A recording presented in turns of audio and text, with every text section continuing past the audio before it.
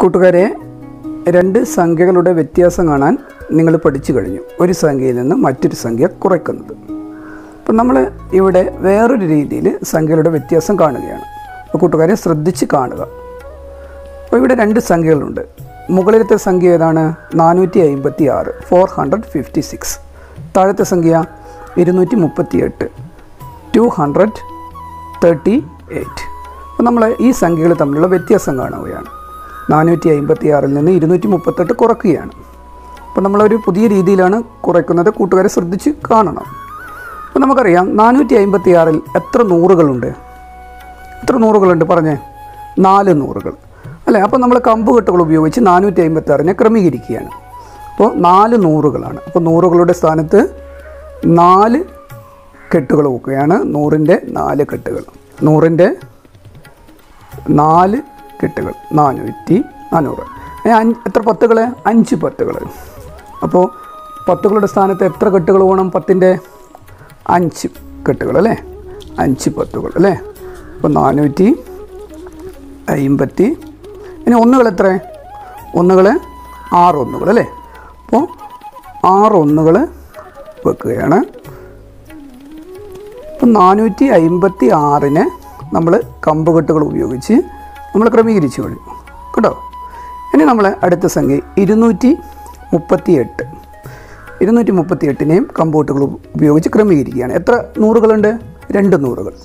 അപ്പോൾ നൂറുകളുടെ സ്ഥാനത്ത് രണ്ട് നൂറുകൾ വെക്കുകയാണ്. എത്ര പത്തുകൾ? മൂന്ന് പത്തുകൾ അല്ലേ? അപ്പോൾ പത്തുകളുടെ സ്ഥാനത്ത് മൂന്ന് കെട്ടുകൾ. പത്തിന്റെ മൂന്ന് കെട്ടുകൾ. ഇനി ഒന്നുകൾ എത്രയും ആ ഒന്നുകൾ എട്ട് ഒന്നുകൾ അല്ലേ? അപ്പോൾ ഒന്നിന്റെ സ്ഥാനത്ത് എത്ര ഒന്നുകൾ വേണം? എട്ട് ഒന്നുകൾ അപ്പോൾ എട്ട് എർക്കലിയിൽ ഒന്നിന്റെ സ്ഥാനത്ത് വെക്കുകയാണ്. അപ്പോൾ കൂട്ടുകാരെ കണ്ടില്ലേ? അപ്പോൾ നമ്മൾ കമ്പുകെട്ടുകൾ ഉപയോഗിച്ച് ഈ സംഖ്യകളെ ക്രമീകരിച്ചു കഴിഞ്ഞു. നാനൂറ്റി അമ്പത്തി ആറ് നാ നാല് നൂറുകൾ അഞ്ച് പത്തുകൾ ആറൊന്നുകൾ ഇരുന്നൂറ്റി മുപ്പത്തെട്ട് രണ്ട് നൂറുകൾ മൂന്ന് പത്തുകൾ എട്ട് ഒന്നുകൾ.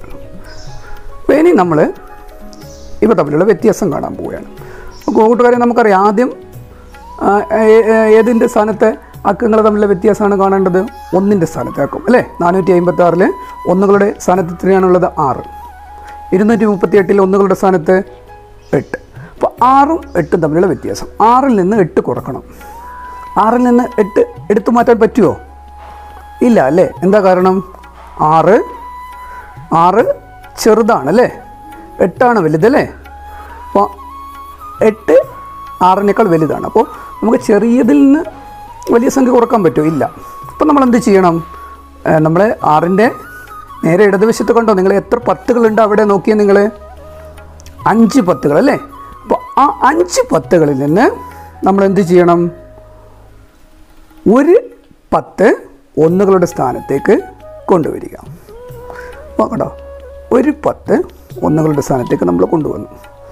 അപ്പോൾ ഇനി അഞ്ച് പത്ത് അവിടെ ഉണ്ടാവുമോ ഉണ്ടാവുമോ നോക്കിയേ അഞ്ച് പത്തുണ്ടോ? നമ്മൾ ഒന്ന് ഒരു പത്ത് ഒന്നിന്റെ സ്ഥാനത്തേക്ക് കൊണ്ടുവന്നില്ലേ? അപ്പോൾ ഇനി അവിടെ എത്ര പത്തേ ഉള്ളൂ? നാല് പത്തേ ഉള്ളൂ. അപ്പോൾ നമ്മൾ അഞ്ച് പത്തില്ല. അപ്പോൾ നമ്മൾ അവന് അവിടെ അവിടെ എത്ര പത്തേ ഉള്ളൂ? നാല്.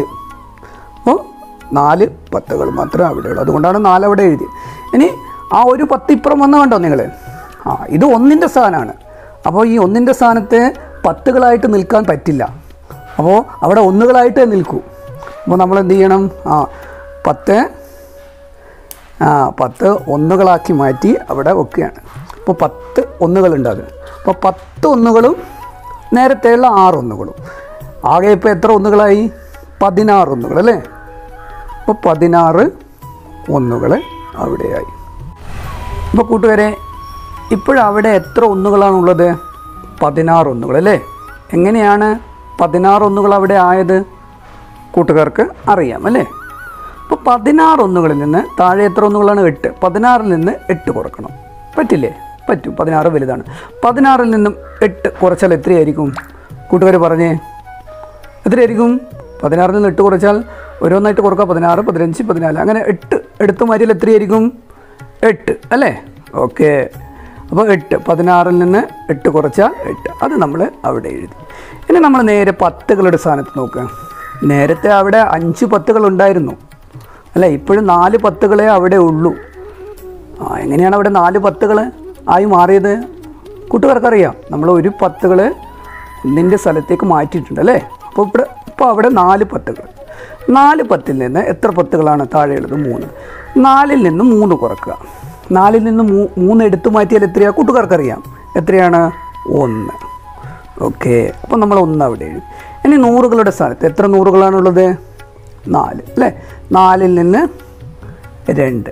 താഴെ രണ്ട് നൂറുകൾ. നാലിൽ നിന്ന് രണ്ട് എടുത്തു മാറ്റിയാൽ എത്രയായിരിക്കും? രണ്ട്. അപ്പോൾ എത്രയാണ്? ഉത്തരം ഇരുന്നൂറ്റി പതിനെട്ട്. അപ്പോൾ ഈ രീതിയിൽ കൂട്ടുകാർ നിങ്ങളുടെ കമ്പുകെട്ടുകൾ ഉപയോഗിച്ച് എല്ലാവർക്കും കമ്പുകെട്ടുകളുണ്ട്. വീട്ടിലല്ലേ? നിങ്ങളുടെ കമ്പുകെട്ടുകൾ ഉപയോഗിച്ച് ഈ രീതിയിൽ നിങ്ങൾ സംഖ്യയുടെ വ്യത്യാസം കണ്ടു നോക്കണം.